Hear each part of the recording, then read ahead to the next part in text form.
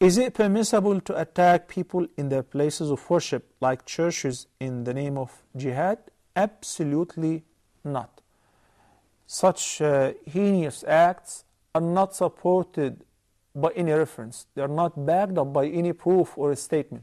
As a matter of fact, all what we have in the Quran and in the sound sunnah of the Prophet ﷺ, in addition to the practices of his companions, oppose that. Can you imagine that?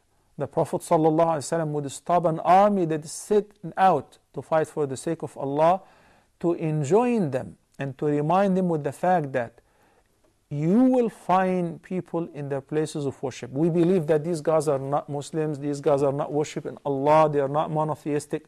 Fine. But if they seek shelter in their places of worship, if they are worshiping, do not target them. Leave them alone Do not hit them. Do not hurt them. And Allah subhanahu wa ta'ala ordered us during the ayah of jihad to fear Allah subhanahu wa ta'ala and not to transgress.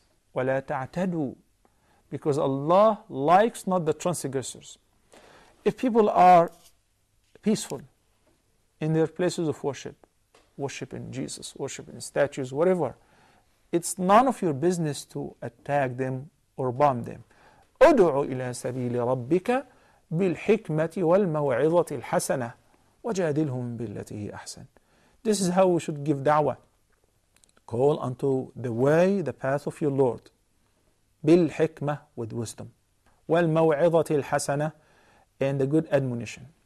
If we have to argue in debates, fine, but with one which is best. No bombing, no suicide bombing, no killing innocent people. All of that is forbidden. And absolutely, I would like to make it very clear such people are not representing Islam at all or any religion.